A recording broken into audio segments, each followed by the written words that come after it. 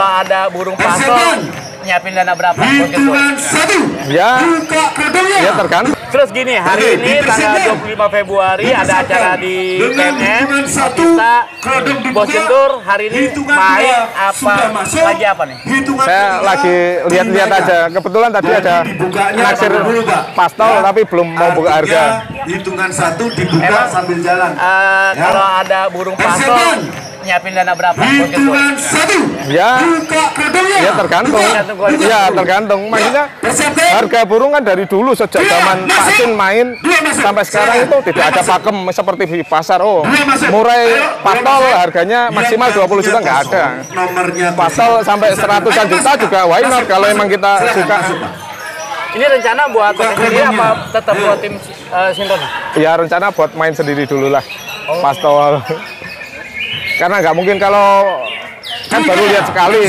Ada unsur gamblingnya juga kalau Pak Sinroni kan maunya yang burung udah mateng, udah Iya udah siap lomba. Maksudnya ya saya nggak mau ngasih burung yang setengah-setengah juga.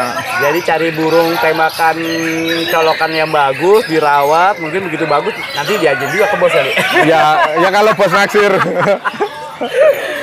Terus gini bos Gentur, satu pertanyaan lagi.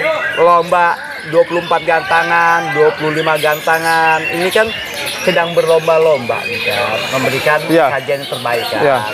Itu efeknya untuk kecamannya seperti apa? Menurut saya gini, 24 24 25 gantangan dengan seperti ini. Itu seleksi alam bakal mana IO yang rame, mana IO yang sepi. Andai kata tiketnya murah, hadiahnya mobil, tapi penilaiannya kurang dengan kondisi orang nggak ada berteriak, besok akan ditinggalkan. Sekarang semakin banyak istilahnya ilmu bisnis ya dagang kita, semakin banyak penjual, semakin banyak persaingan. Tinggal penawarannya siapa yang bisa menuruti keinginan kicau mania. Oh kicau mania kalau misal kayak contohnya tadi kita menyampaikan SMM Iya. 22 juta dan sampai hari ini pun pesanan tiket tetap mengalir berarti kan peserta puas. Terus untuk hari ini Ya. di PMM, ini se- sebetulnya kan ini kan mengadopsi plek Dengan SMM ya. Plek, Ya. ya kan? Yang sedang berjalan menurut Bos Gentur seperti apa? Saya lihat bagus penilaiannya.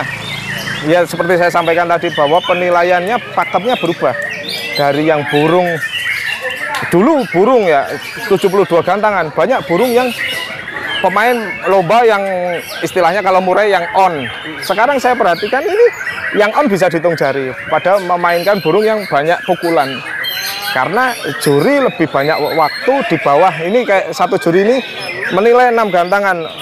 Pergeserannya kalau nggak salah satu atau dua menit. Berarti juri detail oh ini burung ini nembak enam kali dengan isian ini. Iya ya. kalau dulu kan 72 gantangan burung burung pukul itu cenderung tidak bisa mukul terus menerus Ya. otomatis pas mukul sering kelewat jurinya lagi jalan karena luasnya arena lomba kan. Jadi sekarang karakter burung yang juara pun berubah menurut saya ya kita nggak bisa menyalahkan Nyata terjadi Iya, ya. itu juga SDM juri siapa yang bisa kecuali 72 gantangan jurinya 10 atau 12 mungkin bisa. Keren keren keren. Iya. Yang pasti semoga hari ini dapat colokan burung pasol yang mantap. Siap. Thank. Oke, thank Sehat, you. selalu.